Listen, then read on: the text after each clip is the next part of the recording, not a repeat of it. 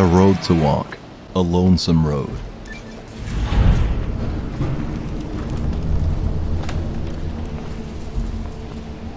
And just like that, the atmosphere and intrigue reels me back in to a point where I completed this entire DLC in one sitting. After playing all night and morning, I got a call from my chiropractor informing me that I would indeed be paying for my treatment, even if I was not there to receive it. Another hefty price I paid was one of willful ignorance. I could've just googled some shit, but instead I played for 27 hours before finally being spoon-fed my first companion.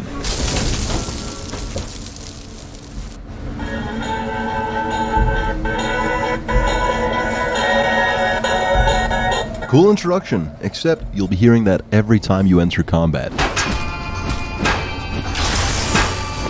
The moment he swore loyalty, I immediately stock 90% of what I'm carrying onto my new best friend, then sporadically pick up everything I come into contact with. A behavioral pattern I would continue, right until the part where Eddie dumps all my items on the floor and fucks off for no reason, leaving me, a player that hates inventory management, with the ultimate compromise. I was getting lonely at this point, man. There's two fucking characters in this whole expansion. Eddie, my alleged companion who just buggered off in my moment of need, and Ulysses, an incredible antagonist with quite possibly the best damn voice actor in the game. Blame you? No. Learned from you. Both the weapon to kill a nation and the strength to do it. You showed me a road, a way to carry my message. You've already answered for what you've done. Now the flag you follow will answer for it. Guess what? You get to hear him make vague statements over a walkie-talkie like pretty much until the very ending. This is where the hardcore Fallout fandom and I part ways, cause I'm about to start criticizing Lonesome Road. Look, there's only one of the DLCs I didn't like. I'm not gonna tell you which one, but it's Dead Money. So if it's Dead Money, that means I liked Lonesome Road. In fact, I liked it so much that I felt the need to provide constructive criticism. The game design reeks of questionable decision making and panders heavily to the weak gamer. A lack of non-linear exploration would work great if they didn't force you through shit sections. For example, there's this long stretch with a ton of death claws that could have been an incredibly challenging section to get past. If I, as the player, had not been provided with a flare gun that permanently stun locks abominations, you'd took one of the scariest enemies and reduced them to a 3 minute standing still session. This is just not fun gameplay. So I tried the section without the flare gun, which reminded me of what it's like to go through a completely regular death in Fallout.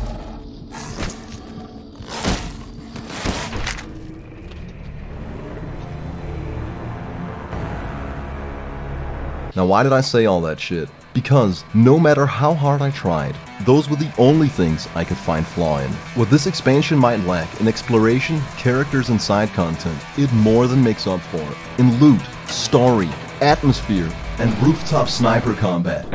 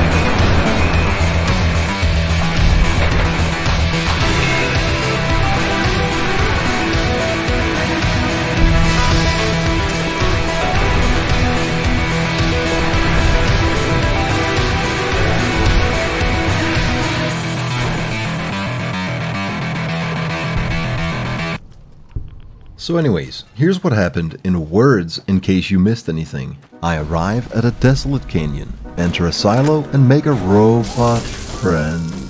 Force him to commit roboticide against his fellow machine. talk to Ulysses, then make my way through Hopeville Missile Base. This is where rooftop sniper combat ensues. I come upon the Red Glare, not just any ballistic missile launcher, but hands down the best RPG of all time for cinematic shots that happens to have unfathomably underwhelming stats. More relevantly, right next to it, the detonator. Did I mention there's a great handful active nuclear warheads scattered around the divide and that the core premise is to detonate them, causing a thermonuclear explosion? I enter a house, a man swings an axe at a bed, then we come to this tinted section and continue to linearly progress in a straight line through the content.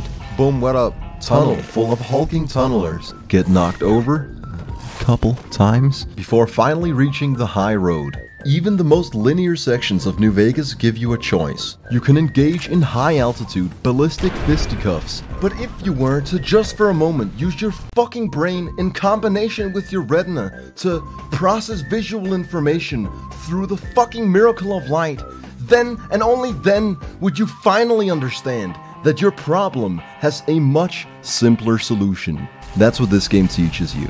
Find the best solution, then do all the other shit too just cause you can. Anyways, I sell some shit to a computer, make it past the death claws, and accidentally stumble my way into one of the two major decisions of incredible significance. There's an entire armed nuclear rocket devised to cause mass devastation, primed to be launched if one irresponsible person came upon this tiny red lever.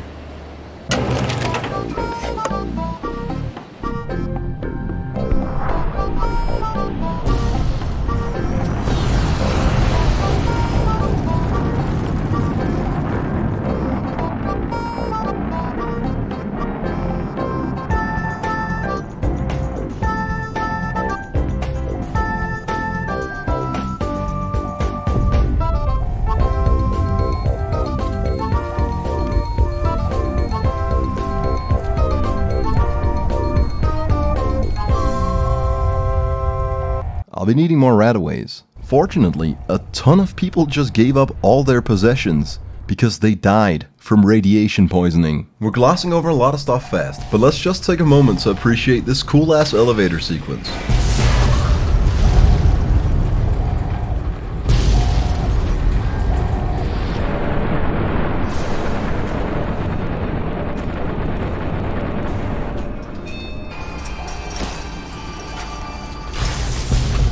The visuals and sound design really stand out to me here. I don't feel like I'm playing a 10 year old game. Boom, now we're underground. Tilted house staircase combat. Made it back outside, which means dialogue.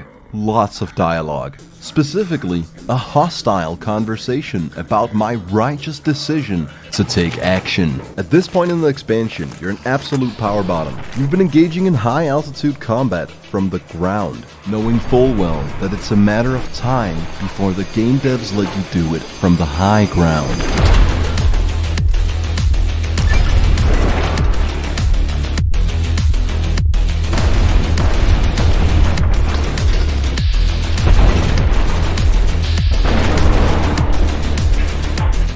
Rocket through a streamlined trajectory, easily disposing of my foe, the corpse of whom I loot for the heavy incinerator.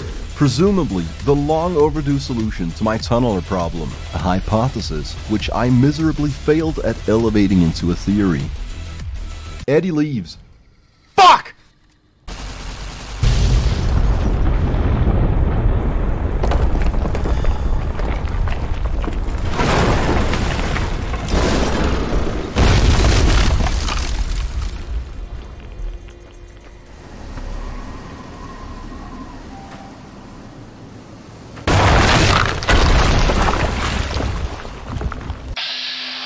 Atmosphere, 10 out of 10. Difficulty, appropriate. Core premise, bellissimo. What happened next? Death claws. Lots of death claws. Then I got stuck in the game design. Twice. Oh shit, here's a throwback. There's that shot from an hour ago when I talked about the first DLC. Look, it's Fido. It's pronounced Fido. And finally, I enter Ulysses' temple for the final encounter. Now let me briefly touch on the story. Ulysses is a courier who trusted Caesar's legion. Unfortunately for him, their standard procedure was to put his people in the history books. After losing everything, he found a new home, which was destroyed by the player.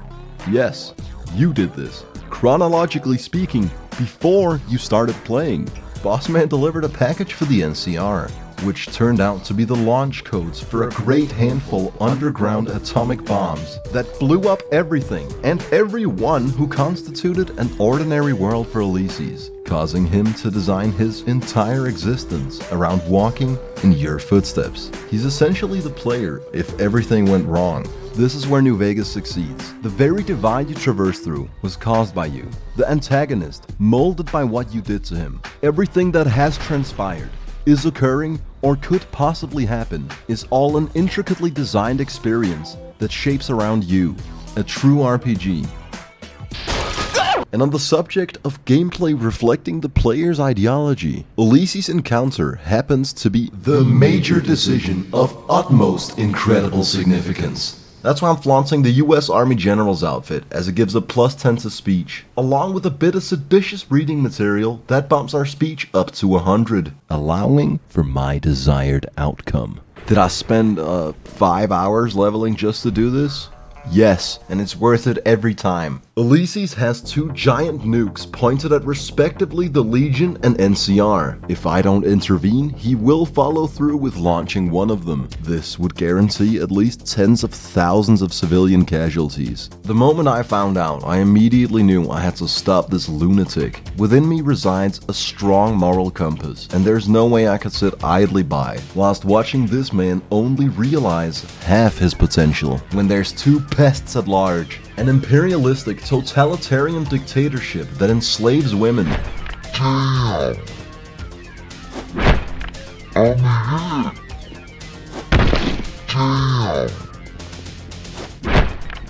And even worse, a Californian Democratic Republic.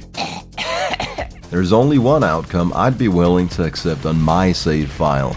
We stand our ground side by side, courier by courier, bonding over our shared love for relentlessly slaughtering ghoulified authorities. Not just does that skip the most tedious boss fight, the game now also delivers what YouTube never quite could.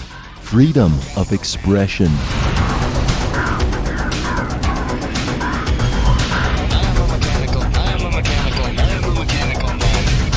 And that's pretty much all of Lonesome Road. Except for, oh yeah, the coolest fucking part.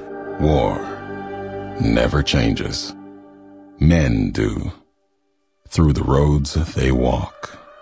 And this road has reached its end.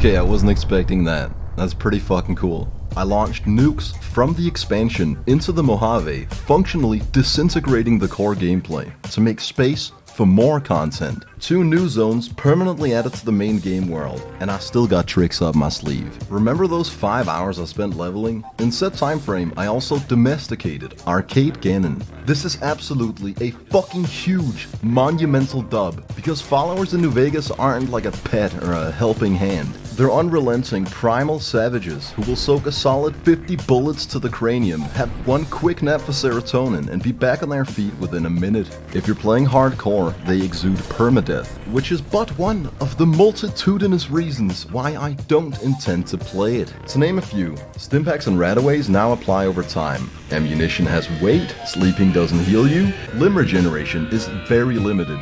You gotta stay hydrated, eat periodically, and have a regular sleep cycle. Oh my god, it's just like real life.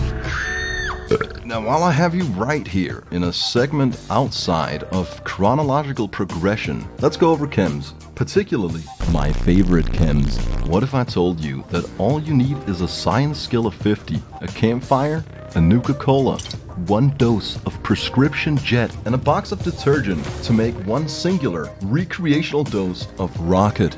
A powerful hallucinogenic methamphetamine that stimulates the central nervous system, triggering a rush of energy and strength. The endorphinic rush, an altered state of consciousness, has been known to induce an absolutely irregular behavioral pattern. Steady is a combat drug made from unknown chemicals. It improves your aim drastically to the point where you can hit a man right between the eyes from max render distance with a rocket launcher. Or how about close combat, but it's with a shotgun that laser hit scans every bullet straight to the dome. But why fight fairly when you can bring a gun to a fist fight? Disarm your opponents by shooting their weapons out of their hands. You like that? Very satisfying, but not nearly as satisfying as shooting your opponent's explosives out of the air. Once you grow competent, you gotta combine these elements. Jump off a rooftop with a sniper rifle. Trick shot the first guy's rifle to show them you mean business. Then use our second prospect's incendiary grenade to prove that I can in fact disarm two people at the same time whilst dual wielding two definitions of the word disarm. Psycho is a little bit like YouTube gaming videos. Its primary effect is a dampening of the higher brain functions, which furthermore induces full-blown military-grade psychosis. Strangely enough, long-term effects include dementia, elevated levels of aggression, general agitation, and internal organ damage. Buff out is a great solution if your problem is that you're a closeted claustrophobic who intends to dodge inventory management at all costs and still move at a reasonable pace inside. Med-X is literally morphine. Hydra will restore your limbs like Piccolo, but across time and very painfully. If not used in moderation, you may very well experience dilated pupils, an increase in heart rate and blood pressure, excessive sweating, and other typical symptoms of procrastination. Fixer is supposed to temporarily remove addiction. Due to a bug, it's very overpowered, because it works permanently. And in all my time with this game, I don't think I ever used it. From Bossman's first addiction, I played with a stern, gotta catch them all philosophy. To my knowledge, with zero consequences. Oh yeah, and one of the coolest chems, I somehow glossed over and didn't think to try once for my first entire fucking playthrough. Turbo. By inhaling hairspray, you slow down time like an anime character. And god I wish I knew about this from the beginning. It appears to literally be a can of hairspray duct taped to jet inhaler. There's no instruction manual, only two simultaneous aerosolized methods of delivery. Depending on which organic holes you'd be comfortable with, there's a wide range of hypothetical methods one could apply when ingesting turbo. You can probably tell that getting a product on the market in Fallout doesn't exactly require extensive medical testing. Luckily, I don't need to know why it works, only that it works and how it works. You see, with the right trade, appropriate perks, and correct usage, it has a duration of 6.8 seconds. When your brain is supercharged to process information three times faster, you experience subjective reality three times slower, allowing you to act efficiently and sporadically, which circumstantially makes 6.8 seconds a powerful and exponentially potential time frame. And on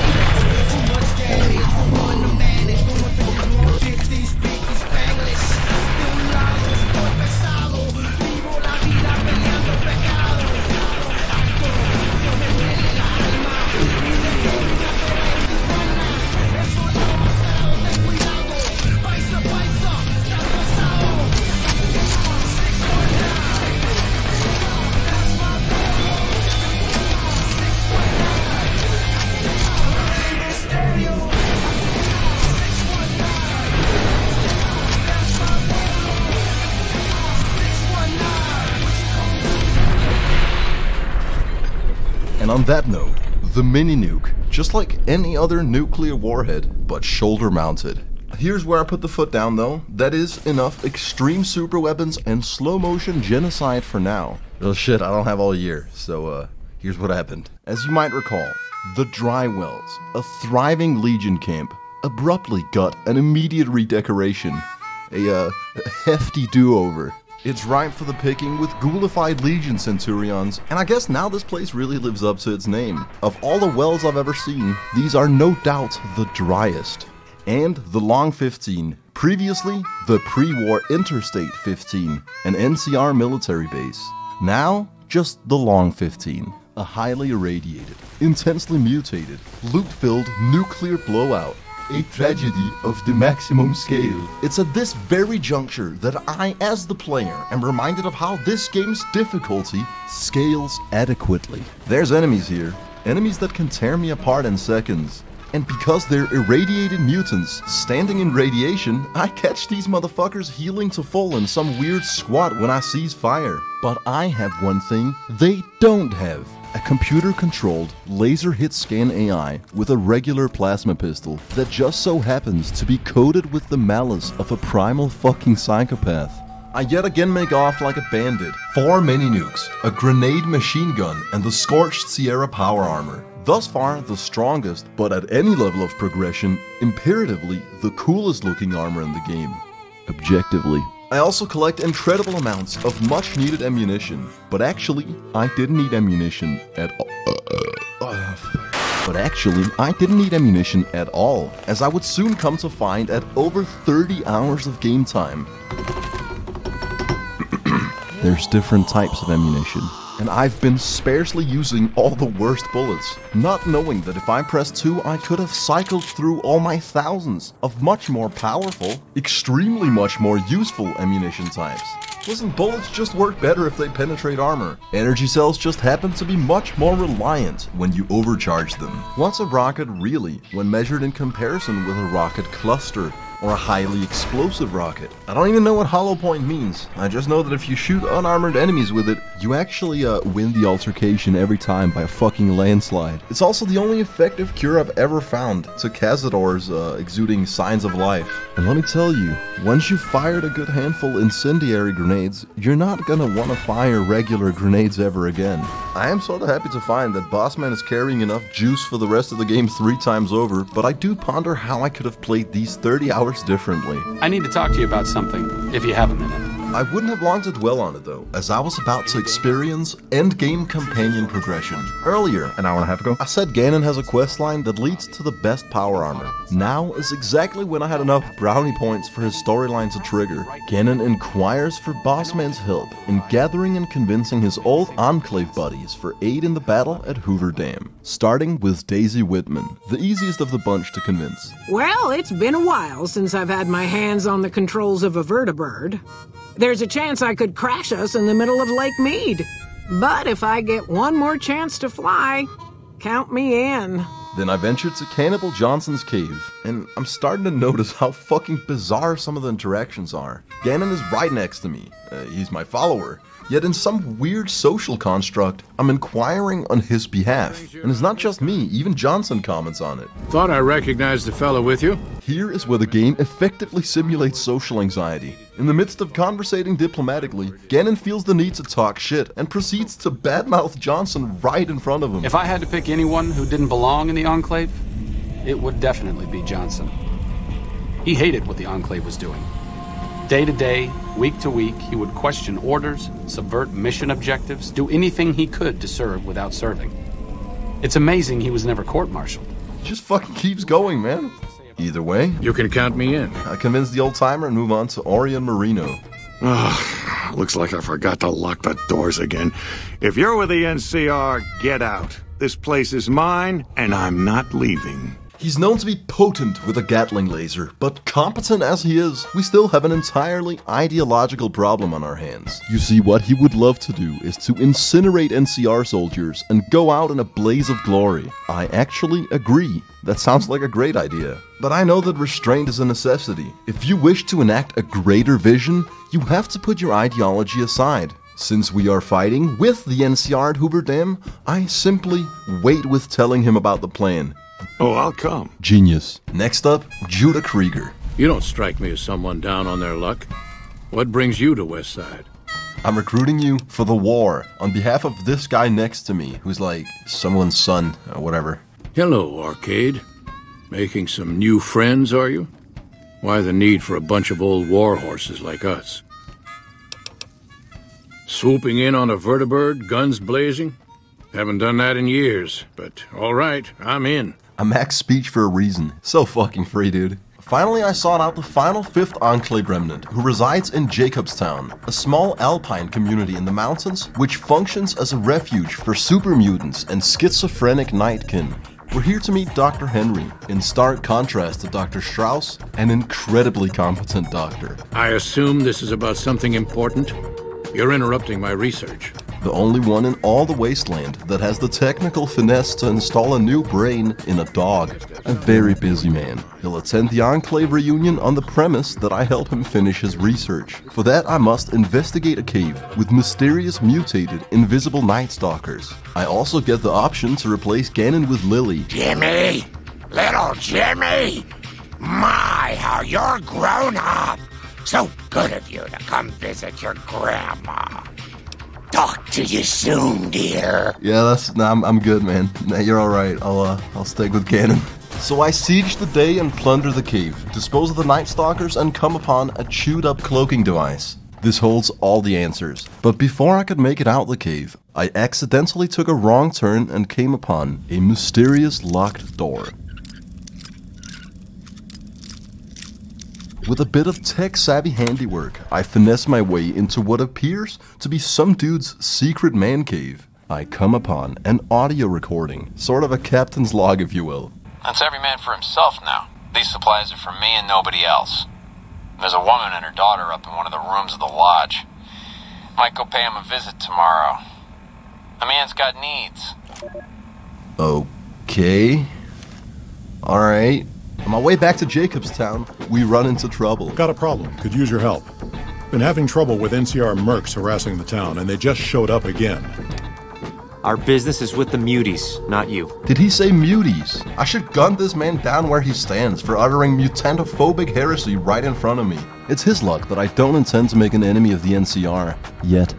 I've always known when to fight and when to back down, and it seems to me I ought to back down this time. My men and I are leaving. You won't see us around here again. With this conflict steadily resolved, I pickpocket the man to find a note with orders to instigate, agitate, and pressure the mutants to a point where they would lash out first, which would give the NCR military grounds to slaughter this whole entire innocent village. On second thought, I do have sort of a diplomatic immunity, and who am I really to judge this man? My due diligence is to kill them all. Let God sort them out. Fly me to the moon, let me play among the stars, and let me see what spring is like on Jupiter and Mars. In other words, hold my hand. In other words, kiss me. I return to Dr. Henry, and he concludes that the only way to combat the schizophrenic states that a lot of these mutants have ascended to after abusing cloaking devices to get high off the stealth frequency is to double down and try juicing up Lily with an even more powerful Stealth Boy Mark II. Of course, dearie. I know it's dangerous, but it'll all turn out for the best. You'll see. I'll go to him now. It would be rude to keep him waiting. Ah, yes, I actually preemptively had to reprogram the game to keep up with the NPC escort speed. I'm extremely satisfied with my experience. All right, power on the stealth boy, Lily. Turning it on. Feels strange. Strange but good. The reading says gamma wave activity is zero, but that can't possibly be right. Gamma wave activity is zero. That can't be right. Must be a result of the interference. All right, we're done here. Go ahead and power the stealth boy down, Lily. Oh, I liked having it on. I'll get back to you on that in a moment, once I've analyzed the results.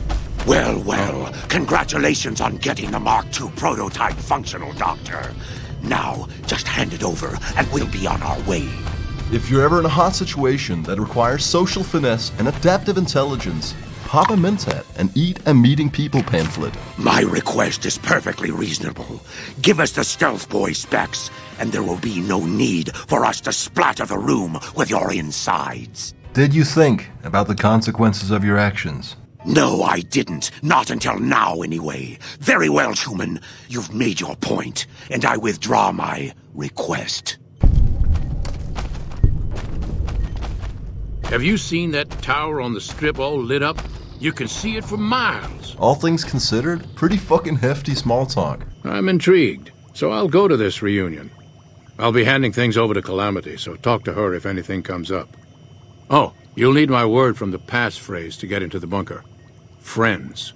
Don't forget it. That's the catch. Each remnant has a code word. You need all five for the passphrase that'll unlock the remnant's bunker. Dear. Old. Friends. Remember. Navarro. We trek further into the mountains and take a moment of silence for newer Fallout games that don't have cool stuff like this. Now stop! I gotta break the flow of the video, keep you on your toes. Algorithmically, it'll be my rise to power. You know what shouldn't rise to power though? My processor. Unbeknownst to me, it has been for a very long time. Imagine the despair of being four months into producing the most ambitious project of your life.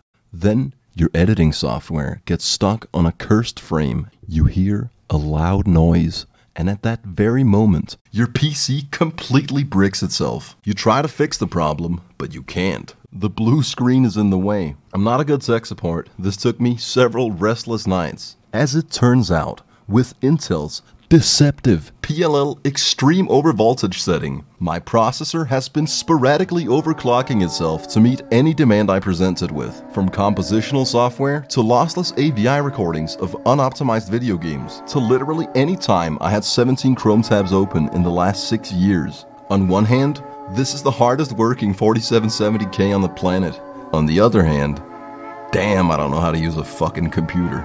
Bossman does though, so he types in Dear old friends, remember Navarro, granting access to the Remnants bunker. What goes down here is very simple. We make an oath to side with the NCR for the second battle at Hoover Dam. Moreno's being a bitch about it. I didn't come all the way out here just so we could save the fucking NCR. I'm out. It's a good thing we spec into Sociopath. If you know who you're talking to, what they want, and why they want it, you can manipulate them to do what you want. They'll even think that they came up with it.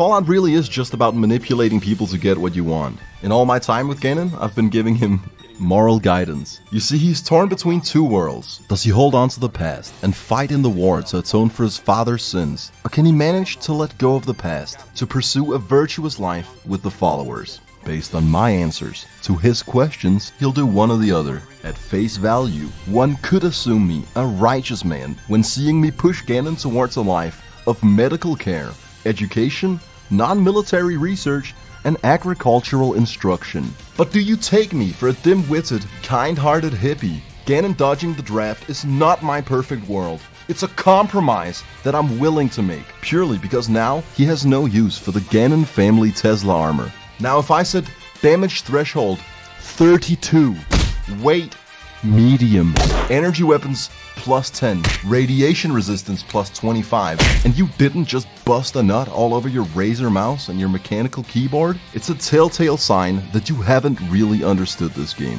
If you ask a list on Google, Remnant Suit is the best power armor, but we all know that list makers are depressed people with no direction. I don't blame them for getting it wrong, but I will certainly correct it. Circumstantially, Remnant's armor can be the best, as it is technically the best defensive armor in the game. Granted that you're fine with doing less damage, having to salvage other power armor to repair, and moving very slowly. Which of course you're not fine with. So you're gonna go with the best armor in the game, cause you're a real gamer, and real gamers rise up. I rest my case.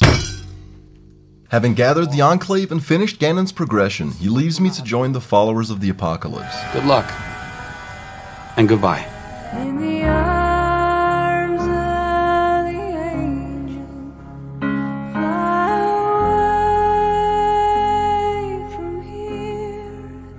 That means no NCR, no Mr. House, and no Legion.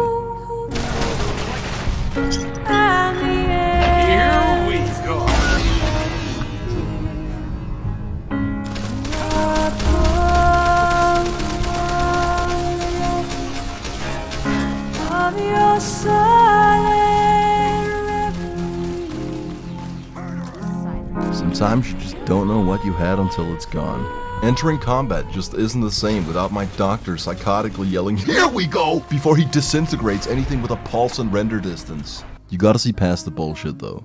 Every compromise has a silver lining. With the obligatory loot acquisition out the way, I'm free to pursue the companionship I actually desire. A woman and a dog.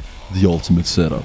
The perfect life. But before I could consummate the best in slot camaraderie, I had something on the agenda. Something way overdue. You see, with Gannon's Legion specific brownie point dialogue check out the way, I now stand to gain nothing by feigning loyalty to Caesar. You could say our area of overlapping interests just dwindled into null, and Bossman does not engage in a zero sum game.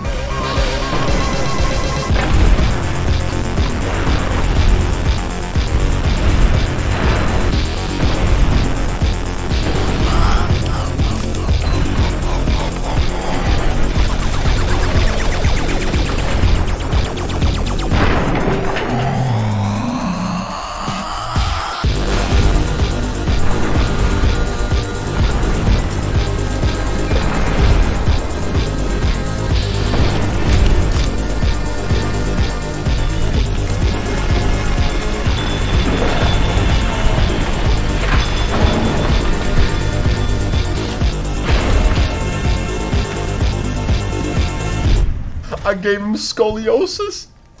I gave him scoliosis. A fitting end for a spineless hypocrite. So I went where a man goes when he's looking to acquire a cybernetically enhanced dog. The free market. Freeside. The thugs who were giving me trouble 30 levels ago decided we should box in sort of a sporadic sparring session. I'm not a bitch though, so I swing it like Klitschko. Look at the fucking control here. The form. Another contender, but can he contend the power of my legendary right hook? I'm not exactly pound for pound, but what I am is undisputed. My unofficial boxing record is off the charts, and this was before I discovered what you can achieve by leveling unarmed and melee. All of this just works. It's not, I'm not kidding. Anyhow, a man doesn't tread in Southern Freeside without a purpose. Mine is to seek out a true gentleman's club, the School of Impersonation. This place is run by a gang of Elvis impersonators who call themselves the Kings, named after the gang leader, King. As the situation alludes, you guessed it, also an Elvis impersonator. Look, Rexy, someone new's come to see us. Poor boy. He hasn't been feeling well lately. I'm the king. What can I do for you? I might be boss man, but this guy's a boss, man. Maybe so. Maybe so. To gain his trust, I started doing his dirty work. My first job was to investigate a bodyguard that might have gone rogue. If you need to cross Freeside, no one will keep you safer than I will. Orris has had a suspicious boom in his personal protection services, so naturally I hire him to protect me. He has no idea what he's accidentally walking into here. I have a nuclear reactor on my back. We get assaulted by thugs, and Orris the hero naturally saves the day. Gotcha. Thought you could ambush us, huh? Except, I count four dead thugs, boss man. Gotcha. Thought you could ambush us, huh? I count three shots, Orris. Uh, noticed that, did you? I keenly aimed one of the shots through some soft tissue of one of them to hit the man behind him. Naturally, so you wouldn't mind if I medically examined the bodies to find that they are in fact humans pretending to be knocked out. It wouldn't be a problem if I layeth my satchel charge, would it? I mean, I believe you, Orris. There's nothing I would hate more than for my trust in you to have been misplaced. But I just have to make sure you're not lying to me. Over here! I think that about settles it. Go rat on him. Okay then. I'll have some guys pull him off the street when no one's looking. The second job was a tad more complicated. It was the beginning of a substantial conflict with the NCR. A long mission. Very boring. I don't want to describe it to you at all. Not even a little bit. So we're gonna supercut through it at Mach 5 speed. hey Lou, we gotta go. and instead I'll show you a Freeside side quest, which is ultimately much more interesting. Cleaning up the streets. You see, some of the people here, they're free. Like, really free. Uh, They're so free that you don't, you wouldn't want to be that free. You, you don't want that amount, you want an adequate amount of freedom. They're, they're too free. What I'm saying is that they're alcoholics and drug addicts. Cause there's this scum cunt of a bastard who's been getting them hooked on his shit. Yeah, man. Those cats are out of their domes addicted to my shit. They can't get enough. Pretty hilarious to watch. Those fools are from NCR. I love seeing those squatters in agony.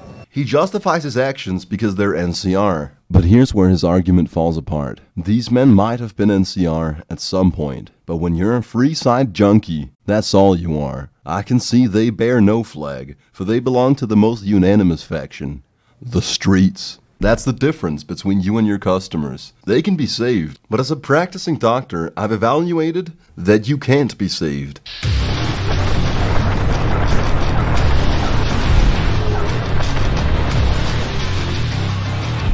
Real quick, had I given him ample time to defend himself, this is how he would have done it. Help! Oh shit, I forgot all about the suffering addicts. That was like the, the whole thing. Why stop? I feel great. Drop drinking. I've been drinking for a straight month. This is gonna be harder than I anticipated, but with just a smear of social engineering. Oh, Julie, I've really screwed things up. I dodge having to provide these poor fellas with the perfect solution that modern medicine provides, because I need it. I think you're right.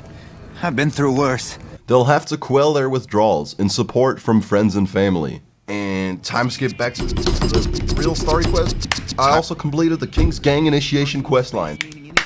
I am great at voice lines, which finally earned me a favor from the king. Maybe it's time for a little more talking and a little less fighting. I had actually misunderstood this part of the game. Rex is not one of the favors. I could have just asked for the dog and he would have given it to me, no problem. Rex, this is your new master. Protect him. Which leaves me with a favor from this fine gentleman. Since I'm not in the market for a fake passport, I decide to join their eccentric society. I get a king's outfit and a free haircut from Sergio. Ah, you return to me a king yourself. It would be an honor for me to do your hair. That's right. Boss man gets a fresh cut. You know, this Hispanic punk rocker is in dire need of a do over. We gotta get some flair, some zest, a bit of graceful pom pom, an eccentric splash of funk, a tad of la croix, a little bit of the bubbly. yes, my character finally looks how I feel. Oh, yeah, right. My dog is brain damaged, and that's just not gonna cut it.